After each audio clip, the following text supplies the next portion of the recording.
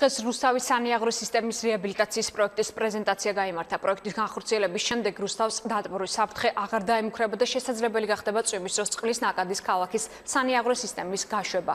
პროექტის პრეზენტაციას რუსთავის მერთან ერთად ინფრასტრუქტურის მინისტრი დავით ჩაულიაშვილი და ვიცე-სპიკერი ზვია ძიძიგური ესწრებოდნენ. ეს არის 4 პუნქტის გარშემდგარი პროექტი, ანუ დიდი არის 7 კილომეტრიანი მონაკვეთის თხრილი კეთდება, სადაც დამჭერი დამონტაჟდება და ანუ ეს დამჭერი 4 მონაკვეთს 1200-იანი მილის სანიაღვრე მილით შეუერთდება და ქალაქიდან გავა. სანიაღვრე ეკუთვნოდა ორგანიზაციას, სხვას არა რუსთავს და მისი გარემონტება გაკეთება ქალაქის მხრიდან იყო შეუძლებელი. ყოველი ნალექის შემდეგ იტყორებოდა ქალაქი, ექნებოდა ინფრასტრუქტურას, ინფრასტრუქტურას ისევე მოსახლეობას სერიოზული პრობლემები და თავრობის განკარგულებით იყო გამოყოფილი დაახლოებით მილიონ ლარამდე, რომელიც მოხმარდება ამ ქსელის რეაბილიტაციას.